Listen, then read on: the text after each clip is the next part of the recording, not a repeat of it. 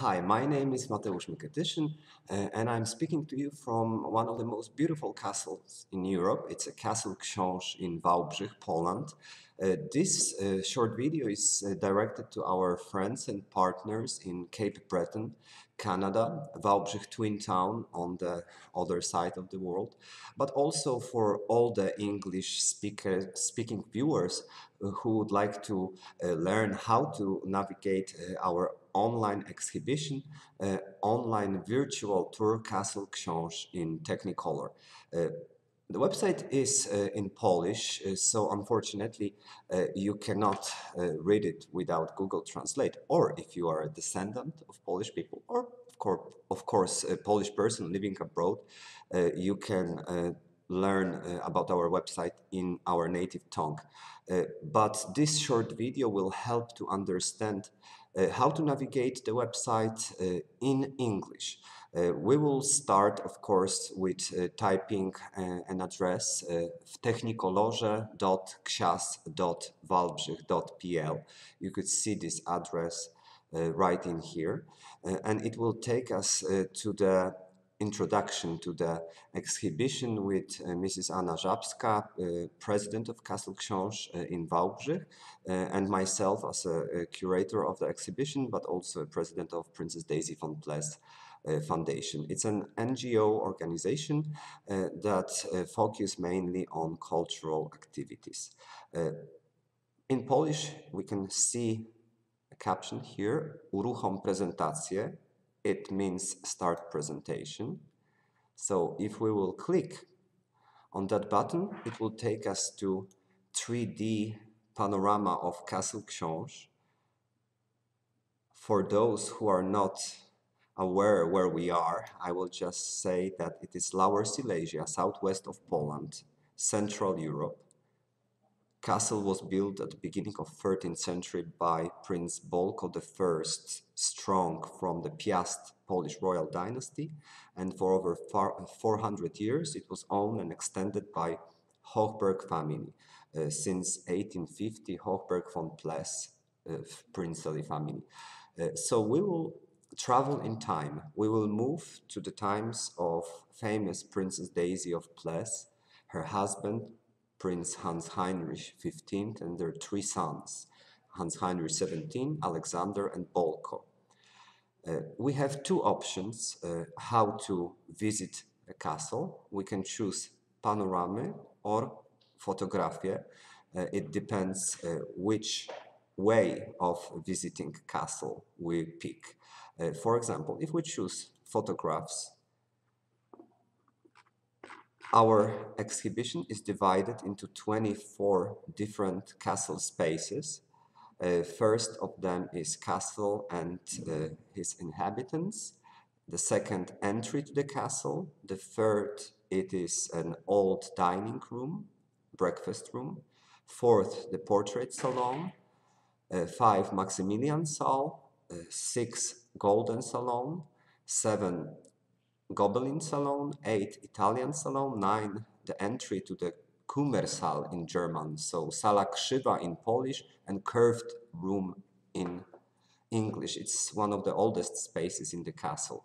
Uh, but this, I, this spaces, the ideas in which we present uh, this travel in time is more, it's 24. We will pick, for example, Maximilian Saal. Uh, it's the most beautiful and the most ornate room in the whole castle. Uh, Maximilian Saal was built in the 18th century uh, by Konrad Ernst Maximilian von Hochberg, and it's named after him. It's one of the most beautiful examples of Silesian Baroque, and Silesian Baroque itself, it's a variation of a Viennese Baroque. So here we can see uh, how this room looked at the beginning of 20th century in a beautiful Belle Epoque times where uh, Princess Daisy, an English lady from the highest circles of English society, uh, moved here to Silesia and uh, became famous not only as a, a, hostess and lady on the castle, but humanitarian who took care for local people. If we turn the yellow arrow here, we will move to another space but we also have a white arrows and this click allowed us to see the same space in 2020. So basically we travel in time and we see effects of colorization. Photographs that we present on this exhibition, uh, they undergo the process of uh, professional colorization and the artist who was responsible for this task uh, was one of the best uh, specialists on this field uh, in Poland, Mr. Uh, Mirosław Szponar, who was responsible for colorizing uh, pictures that came to us also from Canada.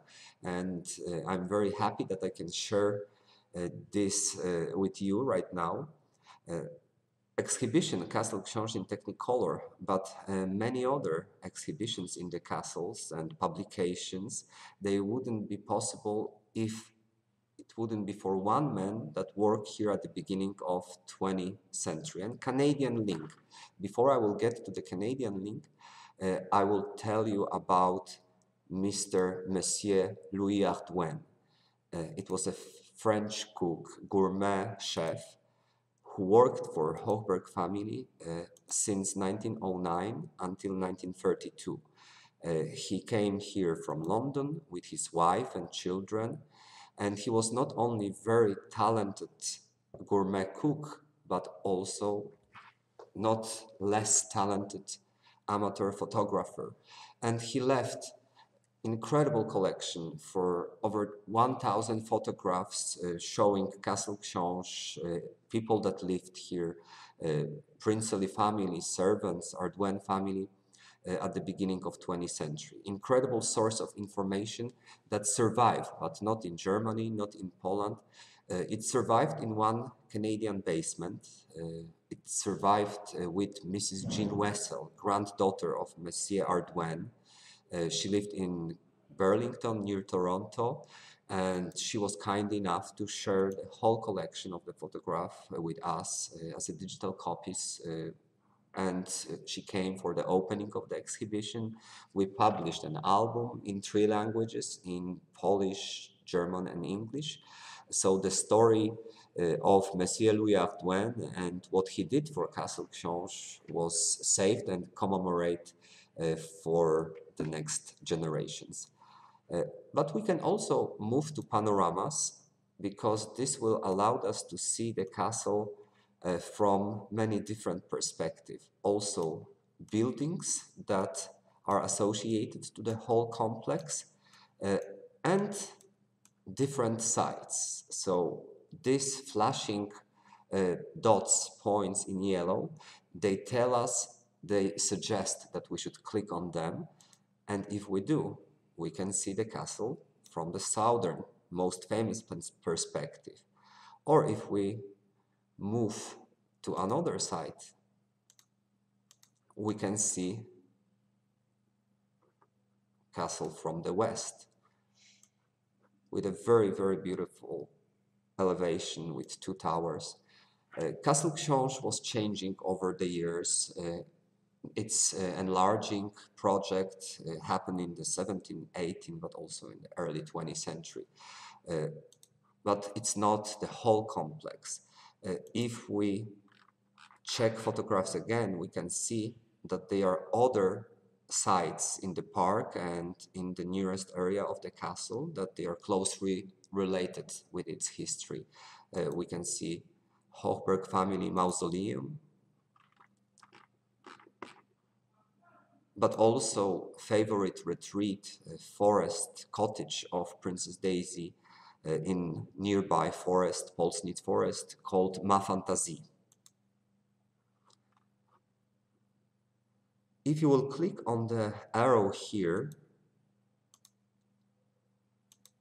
you can check another pictures that shows the same space, but from the different angles or, or with different details. Uh, for Polish-speaking uh, viewers and visitors of our online exhibition, we have an audio version. Uh, you can play here and listen the description of every space and every picture in Polish. Uh, I hope you will stay with us because uh, exhibition Castle Książ in Technicolor is a feast for your eyes.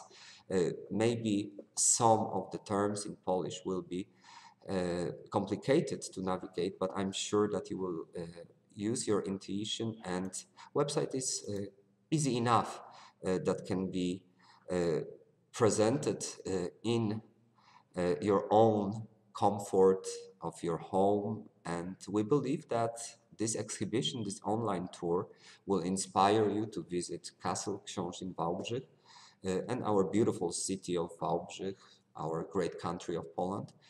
Thank you so much for being with us, uh, and I hope that you will come to see us soon. Bye bye.